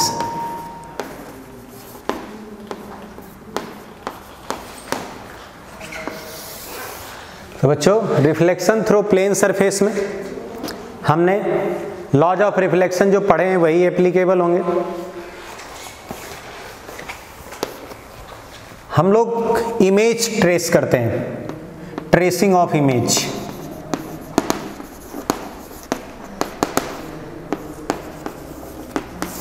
कैसे ट्रेस करते हैं? वैसे तो ये सपोज़ हमारे पास प्लेन मिरर है। ये इसके सामने एक ऑब्जेक्ट है। आपके घर में सपोज़ यहाँ पे एक मिरर लगा होता और मैं उसके सामने खड़ा हो जाता हूँ। तो मेरा मिरर में इमेज बनेगा, बिल्कुल वैसा ही बनेगा, जैसा कि मैं हूँ। अगर मैं जितेंद्र सर हूँ तो जितेंद्र सर ही उस पर दिखाई पड़ेंगे। तो बच्चों ये मिरर है, इसके सामने ऑब्जेक्ट है, ये अपनी शकल देखेगा। कैसे देख पाएगा? और वो कहाँ होगा? रियल होगा कि वर्चुअल होगा? इन चीज़ों को मैं ध्यान देना पड़ेगा। एक क्वेश्चन भी हमसे पूछ सकता है कि रियल होगा कि वर्चुअल होगा, किस जगह पे होगा? तो ये जो ऑब्जेक्ट है, कोई भी ऑब्जेक्ट होगा उससे बहुत सारी रेज इधर इधर इधर इधर, चारों तरफ़ निकलेंगी। चारों तरफ़ रेज निकलेंगी। बहुत सारी इनफाइनाइट नंबर ऑफ़ रेज होंगी। बट हम सबको तो नहीं बना सकते। सबको बनाना इम्पॉसिबल है तो हम क्या करेंगे? कुछ मिनिमम नंबर ऑफ़ रेज बनाना चाहेंगे। मिनिमम का मतलब है जितनी कम से कम रेज हम लोग बना सके। तो जनरली हम दो भी बनाएँगे तो भी चल जाएगा। अब दो से कम एक से काम नहीं चलेगा। क्यों नहीं चलेगा। अब एक रे को देख के तो नहीं बता पाओगे कि ये डाइवर्जिंग है या कन्वर्जिंग क्योंकि रे ऑप्टिक्स है। और यहाँ पे ऑब्जेक्ट इमेज बनाना होगा तो उसके लिए डेफिनेशन आनी चाहिए इंसिडेंट और रिफ्लेक्टेड की, कि वो डाइवर्जिंग है या कन्वर्जिंग है। तो इसलिए कम से कम दो रे हों, ताकि हमको अंदाज़ा लग पाए कि ये रेस डाइवर्जिंग है या कन्वर्जिंग है। तो एटलीस्ट अपन को दो रेस आपको बनानी ही पड़ेंगी। तो कोई भी आप दो बना सकते हैं, कहीं पर भी डाल सकते हैं। मैंने एक रे इधर डाली, दूसरी रे इधर डाली। बहुत सिंपल काम। अब जिन दो पॉइंट पर ये जाके हिट हुई, उन दोनों पॉइंट को हम इंसिडेंट पॉइंट कहेंगे। अब इंसिडेंट पॉइंट हुआ तो यहाँ पर हम एक नॉर्मल डाल देंगे। यहाँ पर भी नॉर्मल डाल देंगे। ये नॉर्मल किस पर होंगे? इस सरफेस पर होंगे। लेकिन किस पॉइंट पर? जहाँ पर ये हिट हुई। तो जितना ये इंसिडेंट एंगल है, उतने एंगल से ये क्या होंगी? रिफ्लेक्ट भी होंगी। तो ये ऐसे वापस बैक चली जाएँगी। इसमें भी अगर ये थीटा था तो इधर भी थीटा रहेगा ये वाला। इसी तरह से ये एल्फा होता तो ये एल्फा एंगल बनाते हुए ऐसे वापस लौट जाती है रे। सेम मीडियम में क्योंकि यहाँ पर हम लोग रिफ्लेक्शन ले रहे हैं। तो ये कैसी रे हो गई? अब दो रे लिया था तो हमें पता चल गया कि ये कैसी दिख रही है? डाइवर्जिंग तो एटलीस्ट आपको दो तो लेनी ही पड़ेगी। तो ये हमको ऐसा फील हो रहा है जैसे ये इस पॉइंट से जाके डाइवर्ज होती हुई फील हो रही है हमको। तो जहाँ से डाइवर्ज होती हुई फील हो तो वो हमारे पास इमेज हो गया। क्या हो गया? इमेज और जहाँ से इंसिडेंट रे फील हो रही, वो क्या हो गया? ऑब्जेक्ट बहुत सिंपल तो ये ऑब्जेक्ट ओ है और ये इमेज आई है। ये थीटा है तो इसके ये अपोजिट में भी थीटा रहेगा। ठीक है? ये थीटा है, ये इस पे परपेंडिकुलर है तो ये एंगल 90 माइनस थीटा हुआ। ये थीटा ये इस पर परपेंडिकुलर था तो ये भी 90 माइनस थीटा हुआ। सिमिलरली ये अल्फ़ा है तो इसके अपोजिट में ये नॉर्मल था। ये अल्फ़ा है, ये अल्फ़ा है तो ये भी अल्फ़ा होगा। ये 90 है तो ये 90 माइनस अल्फ़ा होगा। ये टोटल 90 है। इधर अल्फ़ा तो इधर भी 90 माइनस अल्फ़ा अब आप जरा दोनों ट्रायंगल को देखिए, इस बड़े वाले को भी और इस वाले ट्रायंगल को। ये थीटा है तो ये भी ऑब्वियसली थीटा ही होगा। और ये अल्फ़ा है तो इधर भी अल्फ़ा होगा। ये थीटा है तो इधर थीटा ये सब आपको ज्योमेट्री आती होगी, और इधर अल्फ़ा ये थीटा ये थीटा ये अल्फ़ा ये अल्फ़ा ये 90 माइनस थीटा ये 90 माइनस अल्फ़ा थीटा ये 90 माइनस अल्फ़ा ये 90 माइनस अल्फ़ा इनमें से एक लाइन कॉमन है। दोनों ट्रायंगल में एक लाइन कॉमन है और तीनों एंगल बराबर हो जाए तो फिर सब कुछ भी इक्वल हो गया। ये लेंथ इसके इक्वल आएगी, ये लेंथ इसके इक्वल आएगी और ये लेंथ इसके इक्वल आएगी। मेरा कंसंट्रेशन इस पॉइंट इस चीज़ पर ज़्यादा रहेगा। ये कौन सी लेंथ है? मैंने ये एंगल ये एंगल बराबर लिया, इसका मतलब ये इस पर नॉर्मल होगी। ऐसा तब होगा जब ये और ये पैरेलल होंगी, तभी ये और ये एंगल बराबर होंगे। मतलब ये रे जो होगी, वो नॉर्मल होगी इस ऑब्स्टिकल पर। एक चीज़ बस हमको याद रखना है, ये सब इतना हमें ना भी याद रहे तो भी काम चल जाएगा। ये सपोज़ एम पॉइंट है ओ से एम तक की जो डिस्टेंस रहने वाली है, वही एम से आई तक रहेगी। ऐसा क्यों होगा? क्योंकि सारे एंगल सेम है और एक इनमें से लाइन कॉमन है। तो यूँ कह सकते हैं कि ऑब्जेक्ट से ऑब्स्टेकल तक की परपेंडिकुलर लेंथ और ऑब्स्टेकल से फिर इमेज तक की परपेंडिकुलर लेंथ दोनों इक्वल आती है प्लेन मिरर के लिए। तो अब आपको इतना सारा कभी भी रे डायग्राम नहीं बनाना पड़ेगा, बस एक लाइन में सीख लीजिए। हमारे पास ये ऑब्जेक्ट है। सपोज़ हमें ये भी ना पता हो कि लाइन भी गिवन है। हमको एक मिरर बनाना है, इसके सामने कोई ऑब्जेक्ट दे देगा। इस ऑब्जेक्ट से इस मिरर पे परपेंडिकुलर डाल दो, डाल दिया। बिल्कुल सिंपल इसी लाइन को आगे बढ़ा दीजिए। ऑब्जेक्ट से जितनी लेंथ ये है ना, उतनी लेंथ इधर ले लीजिए। ये हो गया। ये इसका इमेज हो गया। ये ऑब्जेक्ट हो गया, ये इमेज हो गया। बस, बात खत्म। आपको अब कोई रे डायग्राम बनाने की ज़रूरत नहीं। कोई भी रे डायग्राम बनाने की ज़रूरत नहीं। अगर आप बनाना भी चाहोगे तो बन जाएगी आराम से। ये रे इधर गई, वापस गई। वापस बिठाओगे तो इधर जाएगी। कोई भी कहीं पे भी रे डाल के देखो। ये जब भी रिफ्लेक्ट होके वापस जाएगी तो आपको एक फीलिंग देगी कि ये सब रे इसी पॉइंट से जा रही थी। कहीं पर भी कोई भी रे डाल के देखो आप। जितनी भी इस ऑब्जेक्ट से, इस ऑब्स्टेकल पर रे टकराएँगी, जाके इंसिडेंट होंगी, वो सब आफ्टर रिफ्लेक्शन बैक प्रोड्यूस होंगी और सभी ऐसा फील होंगी कि इसी पॉइंट से आ रही थी। तो सभी के साथ यही कहानी होगी तो कोई भी दो बना सकते थे हम, इसलिए कोई भी दो बना लो। अब आपको दो बनाने की भी ज़रूरत नहीं। प्लेन मिरर से जितनी दूर पर ऑब्जेक्ट उतनी दूर पर इमेज बनाना है हमको। बस पास खत्म। लेकिन कौन से? कौन सी डिस्टेंस परपेंडिकुलर डिस्टेंस और कोई डिस्टेंस मत बनाइएगा। परपेंडिकुलर डिस्टेंस तो एक और बेहतरीन सवाल लेते हैं यहाँ पर अगर हमसे कोई इमेज ट्रेस करने के लिए बोलता है तो। आप देखिए, हमें मिरर इतना छोटा दे दिया जाए। ऐसा। और ऑब्जेक्ट यहाँ कोई बिठा दे। आप बोले कि इसका इमेज बनाओ। तुम कहोगे ओ अब तो इसमें हम इसको कहीं से भी मिलाएँगे ऑब्जेक्ट से इस प्लेन मिरर को तो कोई भी रे तो इस पे परपेंडिकुलर हमें दिख ही नहीं रही है। पूरी बाउंड्री में, यहाँ से शुरू करके यहाँ तक कोई भी रे हम जो भी यहाँ डालेंगे तो कोई भी इस पे परपेंडिकुलर नहीं है। तो मत होने दीजिए। नो प्रॉब्लम क्या करोगे?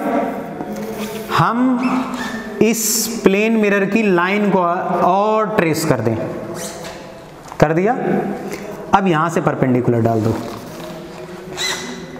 और इसको आगे बढ़ा दो। ये एम पॉइंट कह दो। ये डिस्टेंस अगर एक्स है तो इतनी एक्स डिस्टेंस पर हमको ये इमेज मिल जाएगा। बिना किसी रे डायग्राम के हमने बना दिया। आप भी बना सकते हो। अब अगर आप डाल भी दो कि सर हम तो रे डायग्राम से ही बनाएँगे तो बना लो तो भी बन जाएगा। ये जब रिफ्लेक्ट होकर लौटेगी तो ऐसे लौटेगी। किसको फॉलो करते हुए? लॉ ऑफ़ रिफ्लेक्शन को। Angle of incident angle of reflection आप इसको बैक प्रोड्यूस करोगे तो आपको ऐसे ही जाती हुई फील होगी। इसी तरह से जब इसको यहाँ डालोगे तो ये भी लॉ ऑफ़ रिफ्लेक्शन को फॉलो करते हुए जाएगी। Angle of incidence angle of reflection लेकिन जब आप इसको बैक प्रोड्यूस करोगे तो ऐसा आपको फील आएगा कि इसी पॉइंट से जा रही थी। इसको देखोगे तो ये भी ऐसे ही जाएगी और आपको फील आएगा कि ये इसी पॉइंट से जा रही थी। जितनी भी रे इस पर जाएँगी, वो सब ऐसे जाएँगी और जब आप उनको बैक प्रोड्यूस करोगे तो इसी पॉइंट पर आपको मिलती हुई फील होंगी।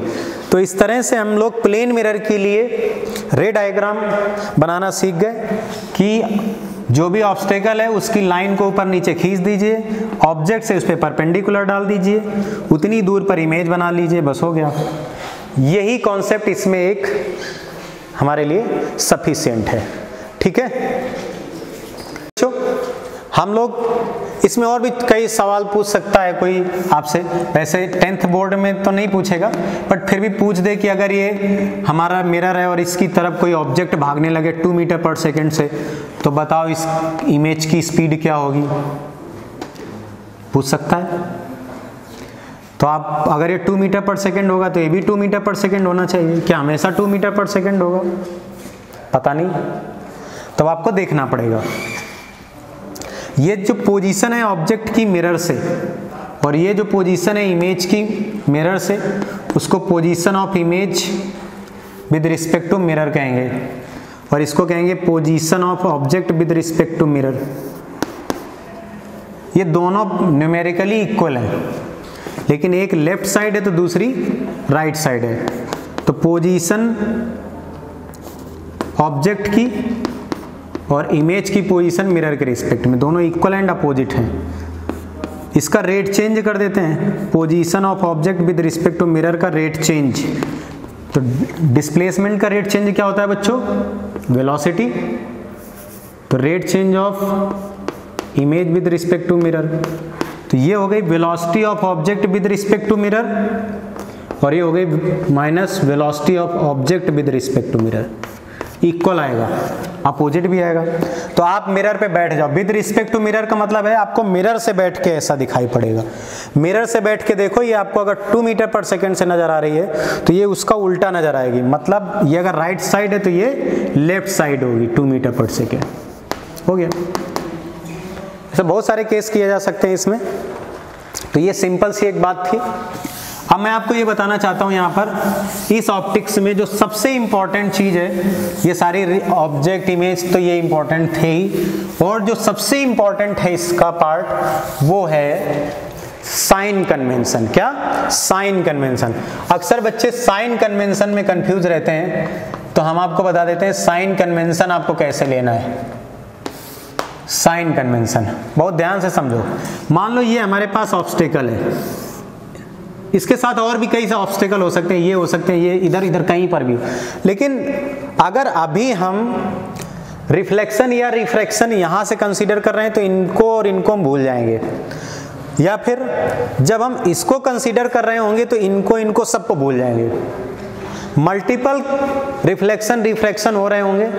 तो भी हमको एक एक को लेकर के सॉल्व करना होगा साइन कन्वेंशन तो हमें मल्टीपल भी मिल सकते हैं, लेकिन जब हम किसी एक में रिफ्लेक्शन या रिफ्रैक्शन ले रहे हों तो जो हमने किसी दूसरे में साइन कन्वेंशन लिया था, उस सबको भूल जाएँगे। हम सिर्फ़ एक पे कंसर्न एक टाइम पर एक ही पे कंसर्न करेंगे। हमारी बात याद रहनी चाहिए, एक टाइम पर एक ही कंसर्न ये ऑब्स्टेकल है। तो जो ऑब्स्टेकल की तरफ़ जाने वाली रे होती है। कोई भी रे जो इसकी तरफ़ जाएगी, वो इंसिडेंट होगी। और जो इससे दूर जाएगी, वो रिफ्लेक्टेड होगी। रिफ्लेक्टेड इधर रिफ्रैक्टेड इधर होगी। ये होगी रिफ्रैक्टेड और इधर आएगी तो वो रिफ्लेक्टेड होगी। तो साइन कन्वेंशन जो होगा, वो हम लोग इसके अकॉर्डिंग लेंगे। जो साइन कन्वेंशन होगा वो हमेशा इंसिडेंट रे के अलोंग लेना। तो मान लो ऑब्स्टेकल ये और रे इधर जा रही है तो ये डायरेक्शन हमारी पॉजिटिव होगी। तो इसको हम लोग पॉजिटिव डायरेक्शन कहेंगे। क्या कहेंगे इसको? पॉजिटिव डायरेक्शन और देखना कहाँ से होगा? हम यहाँ पे बैठ के देखेंगे। ऑब्जर्वर के बिना तो सब कुछ अधूरा है। हम लोग ऑब्स्टेकल के ऊपर बैठ जाएँगे। ये ऑब्स्टेकल है हमारे पास। ऑब्स्टेकल मतलब कुछ भी लेंस प्रिज्म मिरर कुछ भी ऑब्स्टेकल के ऊपर बैठ के देखेंगे। ऑब्स्टेकल के ऊपर बैठ के देखेंगे और इस डायरेक्शन में कोई चीज़ राइट साइड जाती हुई दिखेगी तो पॉजिटिव और लेफ़्ट साइड आती हुई दिखेगी तो नेगेटिव इसी तरह से हम ऊपर की तरफ़, इस, इसको हम लोग प्रिंसिपल एक्सिस भी कहेंगे आगे चल के, क्योंकि हर एक ऑब्स्टेकल की कोई प्रिंसिपल एक्सिस होती है। तो इसको हम लोग प्रिंसिपल एक्सिस कहेंगे। जो प्रिंसिपल एक्सिस से ऊपर की तरफ़ चीज़ें ली जाएँगी वो पॉजिटिव और जो नीचे की तरफ़ ली जाएँगी वो नेगेटिव ये बात हमको ध्यान रखना है। ये हमारा मेन साइन कन्वेंशन है। अब इसको यूज़ करके एक हम छोटा सा क्वेश्चन करते हैं। उसमें साइन कन्वेंशन देखते हैं। सपोज़ ये ऑब्जेक्ट था। एक रे यहाँ गई, दूसरी यहाँ। मान लो ये मिरर होता। तो ये वापस लौट जाती।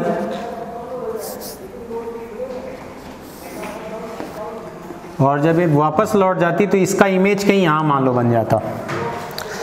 ये ऑब्जेक्ट ये इमेज इंसिडेंट किधर जा रही है? इस तरफ़। तो ये पॉजिटिव डायरेक्शन होगी हमको यहाँ पे खड़े होके देखना है।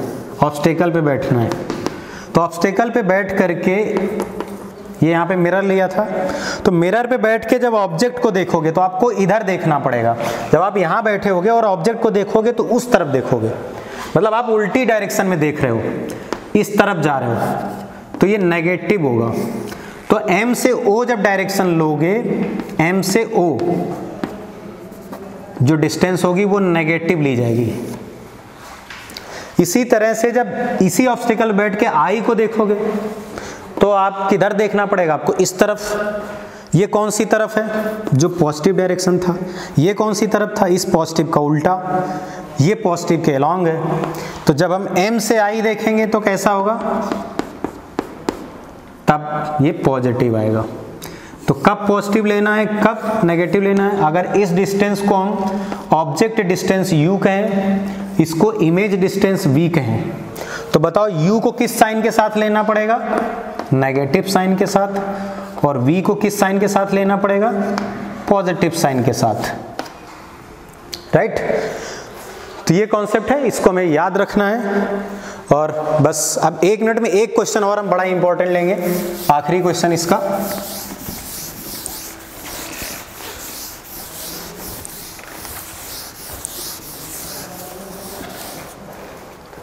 सपोज़ हमने यहाँ पर एक स्फीयर ले लिया यहाँ पर हमने मिरर ले लिया है सब। कुछ ये पॉलिश कर दिया। और ये स्फीयर है ग्लास का बना हुआ है। इसके अंदर कुछ मटेरियल है ग्लास हमने इसमें एक लाइट रे इधर डाली, एक इधर टकराई, एक कैसे फिर ये ऐसे वापस। इसमें कई सारी चीज़ें हुई। मल्टीपल फिनोमिनन्स हमको मिले। यहाँ पर इंसिडेंट इसको ए मान लो, इसको बी मान लो, इसको सी मान लो, इसको इसको पी ले लो, इसको क्यू ले लो। तो यहाँ पे मल्टीपल रिफ्लेक्शन या रिफ्रैक्शन हो रहे हैं। मैंने आपको क्या बताया कि हमको एक टाइम पर एक ही देखना है। तो अभी हम ए को लेंगे। तो taking refraction A taking refraction at A अभी हम ए की बात करें तो ए पर केवल रिफ्रैक्शन लेंगे। तो यहीं पे बैठ जाएँ। और इसकी तरफ़ जाती हुई रेस को इधर पॉजिटिव डायरेक्शन ले लें। अब ए से अगर हम पी को देखें देखना हमको ए से ही है। ए से जब पी को देखेंगे तो इस पॉजिटिव के अपोजिट जाना पड़ेगा। इसलिए ये नेगेटिव डिस्टेंस ली जाएगी।